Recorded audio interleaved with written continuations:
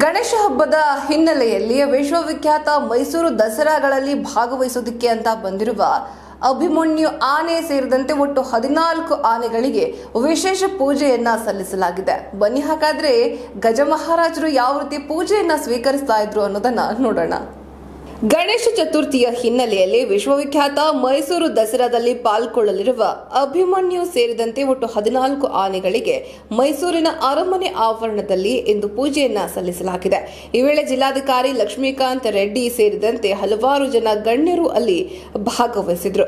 ಬಳಿಕ ಡಾಕ್ಟರ್ ಮಾಲತಿ ಪ್ರಿಯಾ ಈ ಬಾರಿಯ ದಸರಾದಲ್ಲಿ ಪಾಲ್ಗೊಳ್ಳಲಿರುವ ಒಟ್ಟು ಹದಿನಾಲ್ಕು ಆನೆಗಳಿಗೆ ಅರಮನೆ ಮೈದಾನದಲ್ಲಿ ಪೂಜೆ ಸಲ್ಲಿಸಲಾಗಿದೆ. ಈಗಾಗಲೇ ಎಲ್ಲ ಆನೆಗಳಿಗೆ ಜಂಬೂ ಸವಾರಿಯ ತಾಲೀಮು ನಡೀತಾ ಇದೆ. ಈ ಬಾರಿ ಅಭಿಮನ್ಯು ಅಂಬಾರಿಯನ್ನ ಹೊರಲಿದ್ದಾರೆ ಅಂತ ತಿಳಿಸಿದ್ದಾರೆ. ಇನ್ನು ಧನಂಜಯ ಮಹೇಂದ್ರ ಸೇರಿದಂತೆ ಇತರ ಆನೆಗಳಿಗೆ ನಿಶಾನೆ ಆನೆಗ ರಿಟೇಕ್ ನಿಶಾನೆ ಆನೆಯಾಗುವ ನಿಟ್ಟಿನಲ್ಲಿ ತರಬೇತಿಯನ್ನ ನೀಡಲಾಗ್ತಾ ಇದೆ. ಇನ್ನು ಯಾವ ಆನೆ ನಿಶಾನೆ ಆನೆಯಾಗಲಿದೆ ಎಂಬುದನ್ನ ಮುಂದಿನ ದಿನದೊಳಗೆ ಅಥವಾ ಮುಂದಿನ ವಾರದೊಳಗೆ ಪ್ರಕಟಿಸಲಾಗುವುದು ಎಂದು ರಾಜ್ಯ ಪುರೋಹಿತರು ತಿಳಿಸಿದ್ದಾರೆ.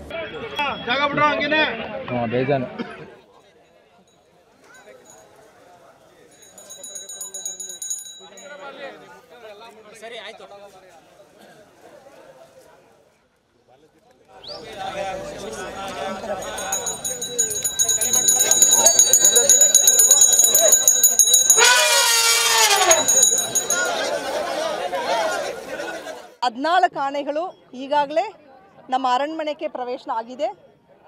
ಫಸ್ಟ್ ಬ್ಯಾಚ್ನಲ್ಲಿ ಕೆಲವು ಆನೆಗಳು ಬಂತು. ಎರಡನೇ ಬ್ಯಾಚ್ನಲ್ಲಿ ಐದು ಆನೆಗಳು ಹೊಸದಾಗಿ ಮುನ್ನೆ ಮೊನ್ನೆ ಬಂದಿದೆ. ಪ್ರತಿ ದಿವಸ ತಾಲೀಮ್ ಕೂಡ ನಡೀತಾ ಇದೆ. ಇವತ್ತು ಗಣೇಶ ಪೂಜೆ ಅಂಗವಾಗಿ ಇಡೀ ಜಿಲ್ಲೆಯ ಅಧಿಕಾರಿಗಳು ಸೇರಿಕೊಂಡು ಇಲ್ಲಿ ಒಂದು ಗಣೇಶ ಪೂಜೆ ಹಬ್ಬವನ್ನು ನಾವು ಹಮ್ಮಿಕೊಂಡಿದ್ದೀವಿ. ಇದರಲ್ಲಿ ಎಲ್ಲ ಆಣೆಗಳು ಒಟ್ಟು ಹದಿನಾಲ್ಕು ಆಣೆಗಳು ಏನು ಬಂದಿದೆಯೋ ಅದೆಲ್ಲ ಪೂರ್ಣ ಪೂರ್ಣವಾಗಿ ಪಾಲ್ಗೊಂಡಿದೆ. ಎಲ್ಲರಿಗೂ ನಿಮಗೆಲ್ಲರಿಗೂ ಗೊತ್ತಿದೆ, ಅಭಿಮನ್ಯುವೇ ನಮ್ಮ ಅಂಬಾರಿಯನ್ನು ಮಾಡ್ತಾರೆ. ನಿಶಾನೆ ಆಣೆ ಯಾವುದು ಅಂತೆ ಇನ್ನು ಕೆಲವು ದಿವಸಗಳಲ್ಲಿ ನಾವು ಖಂಡಿತವಾಗಿ ತಮಗೆ ಹೇಳ್ತೀವಿ. ಹದಿನಾಲ್ಕು ಆನೆಗಳಿಗೆ ವಿಶೇಷವಾಗಿ ಪ್ರತ್ಯಕ್ಷ ಗಣಪತಿ ರೂಪದಂತಹ ಗಜ ಆನೆಗಳಿಗೆ ಪೂಜೆ ಮಾಡಿದ್ವಿ. ನಾಡಹಬ್ಬ ಚೆನ್ನಾಗಿ ಆಗಲಿ ಅಂತ ಗಣಪತಿಯಲ್ಲಿ ಪ್ರಾರ್ಥನೆ ಮಾಡಿ ಚಾಮುಂಡೇಶ್ವರಿ ಪ್ರಾರ್ಥನೆ ಮಾಡಿ ಮೊದಲು ಪೂಜೆ ಮಾಡಿದ್ವಿ. ವಿಶೇಷವಾಗಿ ಆನೆಗಳನ್ನ ಕಾಲು ತೊಳೆದು ಆನೆಗಳಿಗೆ ಅರಿಶಿನ, ಕುಂಕುಮ, ಅಕ್ಷತೆ, ಗಂಧ, ಪುತ್ರ ಪುಷ್ಪ ಪತ್ರಗಳನ್ನ ಇಟ್ಟು ಗಂಧ ಪತ್ರಗಳನ್ನೆಲ್ಲ ಇಟ್ಟು ವಿಶೇಷವಾಗಿ ಪೂಜೆ ಮಾಡಿದ್ವಿ. ಪಂಚಪಗ ಇಟ್ಟು ನೈವೇದ್ಯ ಮಾಡಿದ್ವಿ. ಗಣಪತಿ ಅರ್ಚನೆ, ಗಣಪತಿ ಅರ್ಶ ಪೂಜೆ ಮಾಡಿದ್ವಿ. ಗಣಪತಿಗೆ ಇಷ್ಟವಾದಂದರೆ ಭೋಜನಗಳು. ಆದರೆ ಇಪ್ಪತ್ತೊಂದು ಥರ ಭಕ್ಷ್ಯ ಭೋಜಗಳನ್ನ ಇಟ್ಟು ವಿಶೇಷವಾಗಿ ನೈವೇದ್ಯ ಮಾಡಿ ಎಲ್ಲ ಆನೆಗಳಿಗೂ ಸಹ ತಿನ್ನಿಸಿದ್ವಿ ಎಲ್ಲರಿಗೂ ಸಹ ಒಳ್ಳೆಯದಾಗಲಿ